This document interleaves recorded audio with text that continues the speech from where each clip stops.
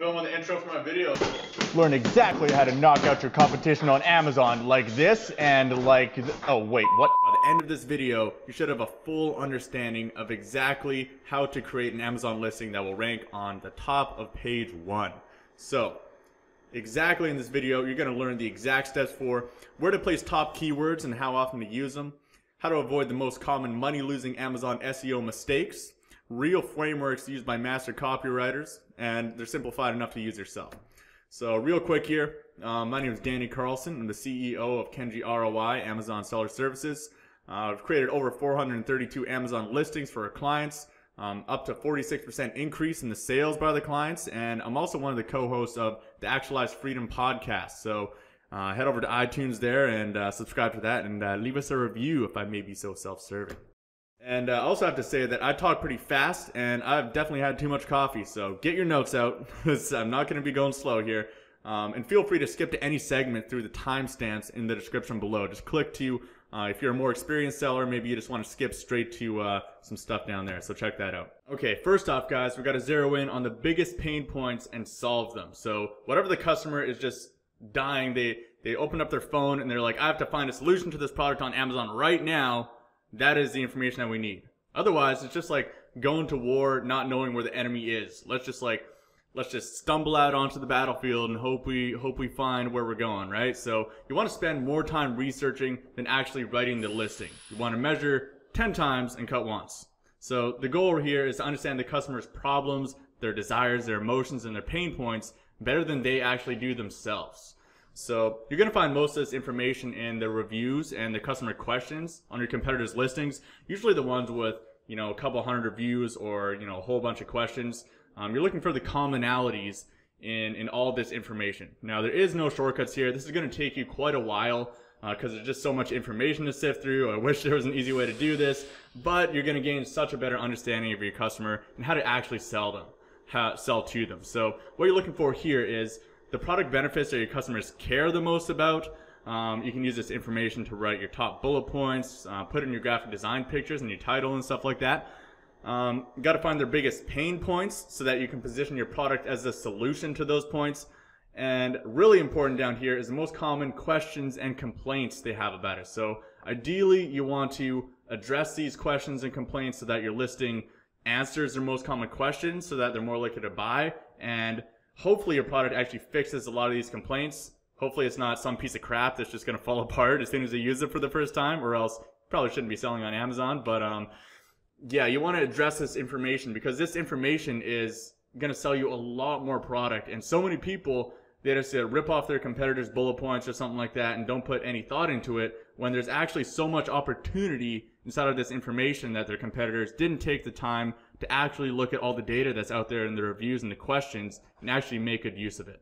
Number two is the ask why three times method. So when I'm talking about benefits here, um, a lot of people think that they're at the benefit when they're still only at a feature, you know, maybe a level two feature, um, but they're not going deep enough. So here's an example here with the example of, um, you know, it's made of microfiber. That's a feature of a microfiber towel, right? But it soaks up four times the water than a regular towel uh, with half the bulk. Now that's a true benefit. So using the ask why three times method. So number one, it's made of microfiber. You ask, why is it good? So you answer, it's more absorbent. Well, why is it good that it's more absorbent? Well, it's faster to dry things off. Well, why is it good that it's faster to dry things off? Uh, well, it gives you more, you know, more time so you can spend on having fun and reducing boring chore time.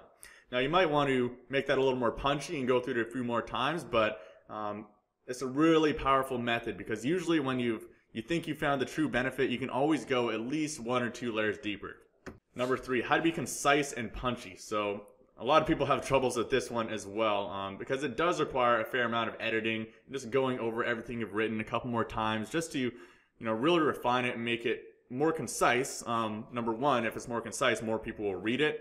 People don't like reading long stuff. We have the attention span of a gnat these days on the internet. So going off that example of the last one there, it gives you more fun time by reducing boring chore time let's just refine it a bit and make it more punchy. So each level down here, we're going to be refining it. So the first one, it gives you more fun time by reducing boring chore time. Maybe I go over it once and, um, you know, refine it down to blast through chores and gain free time. But that's still a little bit clunky. So, you know, maybe maybe put the front at the back or the back at the front and you know reorder it to see what sounds the punchiest. So you can see down at the bottom, eventually we get down to reclaim your me time.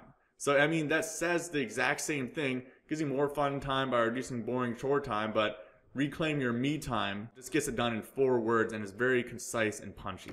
Now some proven frameworks for actually writing sales copy. So a lot of people just kind of they get like three or four features or benefits and just kind of cram them into one bullet point in no real order. So this is a good way to have some real order to it. So this one is aggravate the problem, whatever the main problem your customer is having, and then present your product as a solution and then a call to action, which is, you know, add to cart or, you know, buy now, whatever you want to use. So for aggravate the problem, is it just me or is it harder to stay focused when it's most important to you? Deadline is approaching and we keep checking Instagram. So now we need to present our product as a solution. So we're selling fidget spinners. Our fidget spinners boost focus by busying our ADHD brain so our get work done brain can get work done. So now we have the call to action to set us up perfectly for this. So click add to cart now to get more done in less time today. So this framework is really powerful because it puts the customer through the entire emotional cycle uh, of someone who has the problem, um, they found a solution, and now they're going to take action on that solution, right? When you're aggravating the problem, you want them to feel the negative emotion that having that problem has, right? That, that's why you really want to aggravate it, and that's why this is so powerful. So another really good framework is called lamp lighting. So this is this is one a lot of people don't like to do, um, but it can actually create a lot more credibility with your customer for being so honest. So an example here is roller fidget spinner may not be super light and easy to do tricks. It has a far more satisfying spin feel and gravitational pull. So what we did, we directly admitted that our fidget spinner is not actually good for doing tricks. So one, this disqualifies any customers that are looking for trick fidget spinners uh, because those people might leave us bad reviews. They're not going to be good customers. Uh, but it also sets us up for you know a more subjective, less believable claim afterwards. So you want to start out with, you know, the framework here is to shed light on a major shortcoming of your product, like something that you'll fully admit is not the best about your product, and then follow it up with, you know, a less believable claim. It sounds funny, but it actually makes it more believable if you set it up with something um, that you're being like overly honest about that's not good. And then now we have mini content marketing. So I'm sure you guys all know that, you know, blogs, content marketing, that kind of stuff is really good, but Amazon doesn't really give you the opportunity to have that. So this is a really super concise version of that. Um, I usually put this in down in the description somewhere, usually the HTML description. Um, but here's a good framework for it. So first off, provide a genuinely helpful content with no selling language. So let's say you're, you're selling a fidget spinner maybe you just have like three or four little one sentence or two sentence things explaining how to do some cool new tricks. So that's just giving them free helpful value, um, you know, not trying to sell them anything, right? And then I like to answer the most common questions or objections that a customer has. So like, again, this is from your research earlier. You're going to find this in the, the common customer questions and the reviews of your main competitors mostly. And then quickly state a guarantee, you know, there's no risk, 100% money back, all that stuff. I'm sure you guys have seen that. And then the call to action, add to cart. So in that very specific order, you're slowly working them into the sale without actually triggering their I'm getting sold to alarm because no one actually likes to get sold to. You. Like when was the last time a Jehovah's Witness knocked on your door and you're like, oh, awesome, welcome, come on in. Uh, what what are you trying to uh, to sell to me today? So, of, of course not. No one likes that. So, and the other thing is when other people help us, we naturally feel obligated to help them back. That's a human nature thing, guys. Like, you know, you, you buy someone a free coffee, they're much more likely to do something nice for you later. And that's just, you know, this is the same concept, but stretched out over the internet. And all this stuff, what it's doing is warming up your call to action at the end so people are more likely to actually buy, right? Next up, we're getting into the actual meat the title optimization. So, I mean, the title is the most important for two reasons. One, the main one is that it has the most rate, the most weight for keyword ranking. So any of the keywords in your title will actually, they gain keyword ranking for every single sale that comes through that product. So it doesn't matter if the, if the customer searched for a search term that is not in your title, all of the words in your title are still going to gain keyword ranking and no other place in the listing does that. So that's super important. And then also it must show the important describing information that customers need to see to actually click on your listing. So if a customer is looking only for a 12 pack or, you know, only a blue one or a two by two, um, then you need to have that information visible in the title. Um, and in the first, like, I usually put it in the second part of the title, but we'll get to structure in a second here. So yeah, a perfect title is a mix of the main search terms in phrase order, the important describing information, like we're saying, 12 pack, blue, 2x2, readability, which is one thing that a lot of sellers don't get right. Um, a lot of people just keyword stuff with, you know, not breaking it up or anything. Um, and then also displaying your differentiation if your product is actually, you know, different. You want to really like highlight how it stands out. So, like I was saying earlier, use hyphens to break up sections into easily understood chunks. This is where a lot of people go wrong here. So down in this example, um, you can see it's in, you know, about five or six really good little chunks. If I took all those hyphens out, it would just look like one big run-on sentence, and you wouldn't really be able to pick out the information you're looking for. Um, and I also use commas to actually maintain proper sentences. A lot of people, they, you know, they break it up into little chunks, but they don't use the right connecting words. They don't use and, for, with, and, you know, commas and stuff like that. And it actually comes off really clunky to read, um, unprofessional looking as well. And it really doesn't take up that many more characters, guys. You know, I would sacrifice one or two keywords at the end just to have some good readability and not scare some people off by your clunky looking title.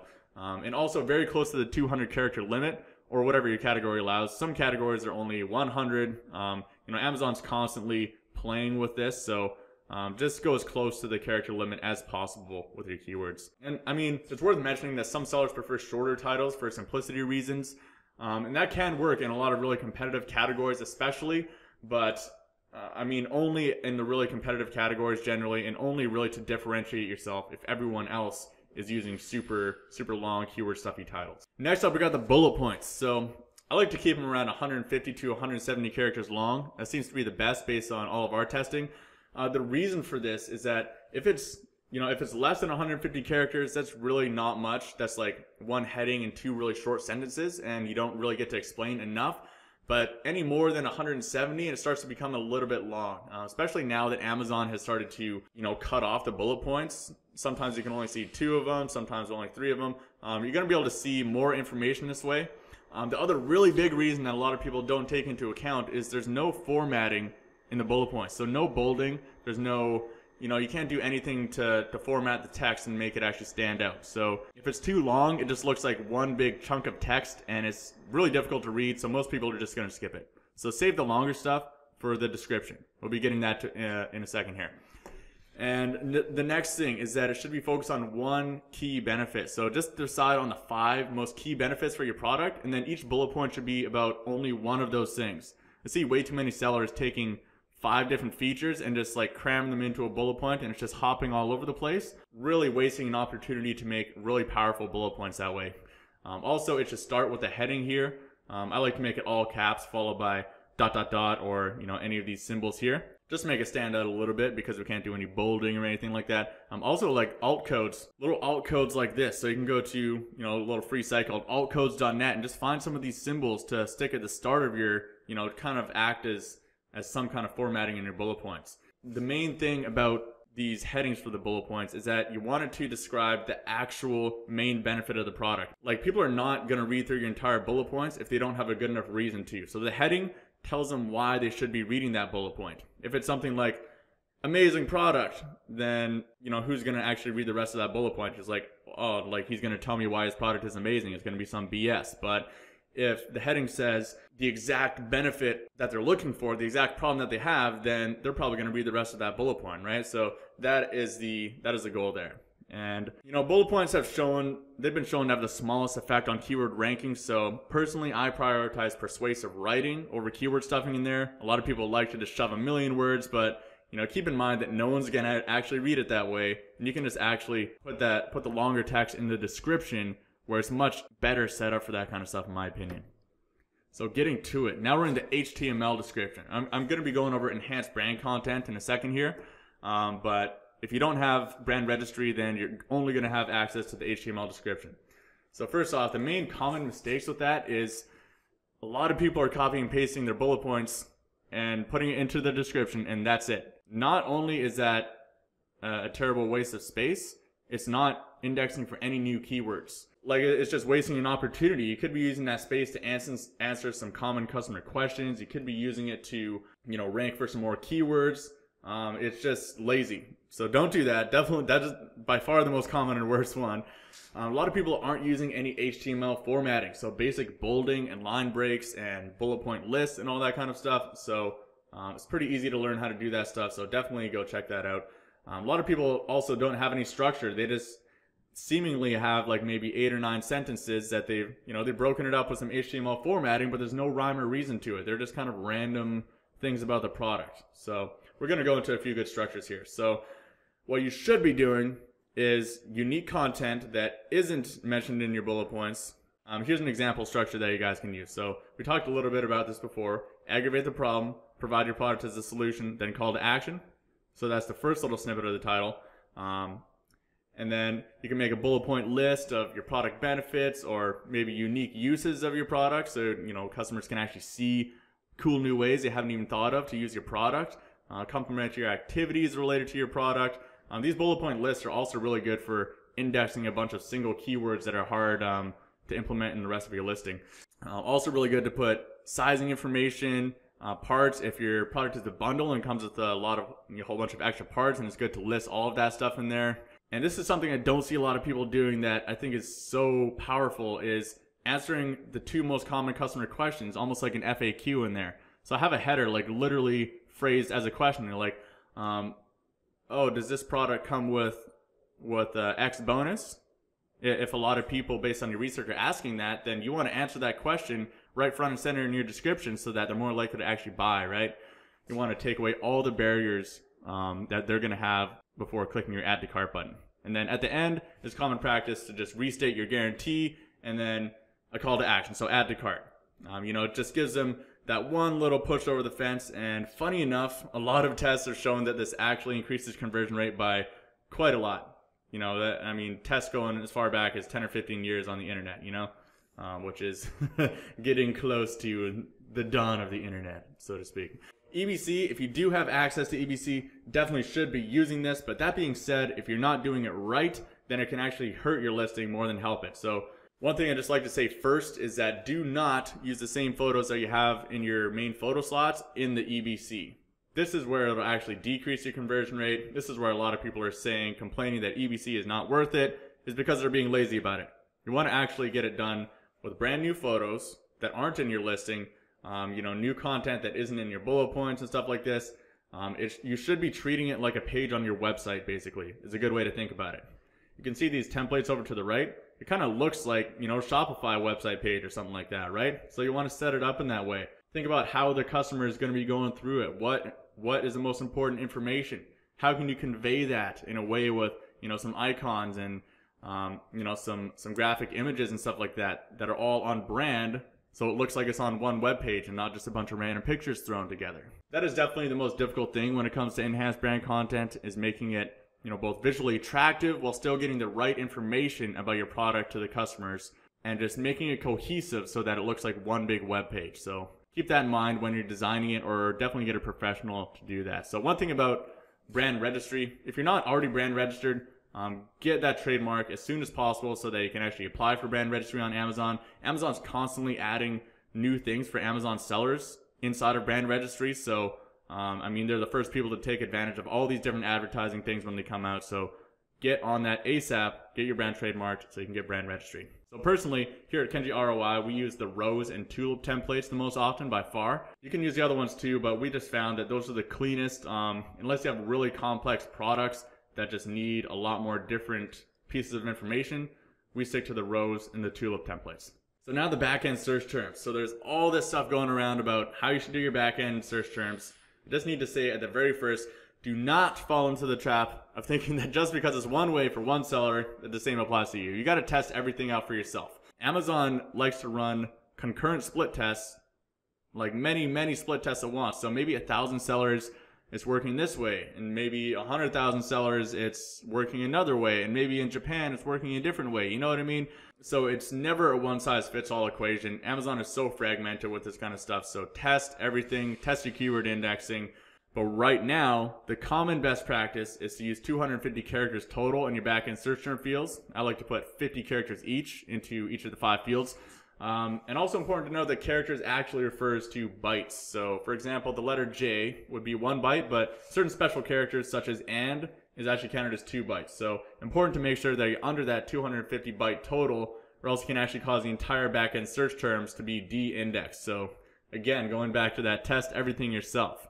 That being said, A lot of people are able to index well over 250 characters, especially sellers who have been selling for a while before they change their character limits and all that kind of stuff. So um, you're going to want to test that out for yourself. Maybe you can index a whole bunch more.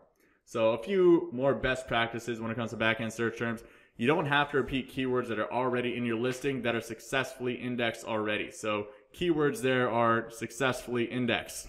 Just because they're in your listing doesn't mean they're actually being indexed by Amazon. So use a, a keyword index checking tool. Um, if you just Google for keyword index checker Amazon, then you'll have a bunch of free ones that can come up there and you can test that out. Um, also, don't use commas to separate words. Use just a space. And Amazon treats the that little hyphen symbol exactly the same as space. So it, it's unnecessary to include keywords like word one hyphen word two as a single keyword. Um, if you already have word one and word two individually, because Amazon just treats that little hyphen as a space. So that's just a good little tip there. And yeah, if if you find based on your test that you are only limited to 250 characters, which is most sellers right now, then I really wouldn't put a lot of importance into your backend keywords since it's it's not actually very many keywords, and you're better spent um, optimizing the other segments of your listing, especially the title. And the final sweep. So now that you have everything together here, you want to go through and make sure your top 10 phrases are placed in at least two parts of your listing. Um, your top 10 phrases based on all the keyword tools you've been using, the actual customer research, reviews, and that kind of stuff. Um, there is a good article. I'll drop that in the description for Amazon Keyword Manifesto. If you want to learn more about actual Amazon keyword research, we're not going to touch on that right now. Um, but you want to have your top three phrases in both the title and the bullet points or description. So two places there. Um, and your next seven phrases should be in both the bullets and the description. Important to keep these in phrase order. So if, you know, if your phrase is um, Batman you know, red Batman cape. I don't know why there'd be a red one, but um, it, it can't be Batman cape red. You should have it red Batman cape, exactly how it shows up as per your keyword research. And then also you should ensure that any important single keywords are just sprinkled somewhere in your listing. You know, any ones that you may have missed that you think are still important, um, you know, add them into your description, your bullets, or, or whatever, any way you can. And also, this is super important because you can actually get your account suspended very easily for doing any of this kind of stuff um, or at the very least get your listing suppressed for a couple days, lose out on a bunch of sales and ranking. Um, so you want to pick out prohibited words like brand names, especially the major ones like Nike. Um, Amazon's making it easier and easier for brands to protect their own trademarks and intellectual property. So um, you want to make sure that you're not infringing on any of these brands' trademark names. Um, and a lot of these brands have they have a bunch of word marks that you wouldn't even think of. So like Apple has I think over 60 or 70 different word marks. So, you know, definitely do some trademark searches on sites like trademarkia.com. You can do free trademark searches. That's trademarkia.com. Just make sure that whatever you have in your title or whatever kind of words you're coming up with aren't infringing on your competitors' trademarks. Or FDA regulated words, arthritis, disease, cancer. It's worth, especially if you have like food or supplement based products, definitely should be looking up the FDA regulations on disease claims. But just knowing that these keywords by themselves that are related to diseases can actually get your listing flagged by Amazon um, and at the very least suppressed until you can prove to them, hey, I'm not actually making a disease claim here. Uh, be very careful with those kind of words. Um, and lastly, rewrite all those clunky sentences. So you know, the first time that we write listings is always not the best it can be. Always want to go back through, clean everything up, kind of reword everything. You know, can I move the end of the sentence to the front of the sentence? Does it sound better that way? Can I remove connecting words, unnecessary words? How do I say the same thing with less words and make it punchier? Um, maybe some, maybe some language that is, is more punchier or, you know, just sounds better, right? So that is it. You now have all the ammo you need to create a perfect Amazon listing. So I encourage you guys to go out there and try that yourself. You know, get familiar with everything that it goes into creating a perfect Amazon listing for maximum ranking juice. If you're one of these people that just doesn't have time or you want someone else to do it for you, then check out kenjiroi.com slash copywriting. And we have some packages there for people who are too busy or just say, screw this stuff, I'm gonna leave it to the professionals. So thank you for joining me. If you want to get access to the notes, the slides for this presentation, there should be a link below this video. So check that out and Thank you for joining me.